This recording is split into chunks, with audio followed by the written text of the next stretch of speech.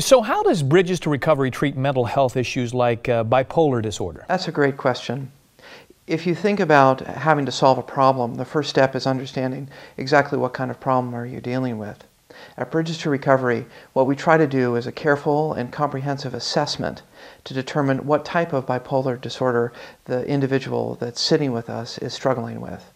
Once we have an understanding of the specific symptoms, complaints, the way that they're dealing with it both adaptively and maladaptively in their life, we can put together a treatment plan that incorporates cutting edge techniques and the most empathic and caring approach to help you reach the goals that you want to reach.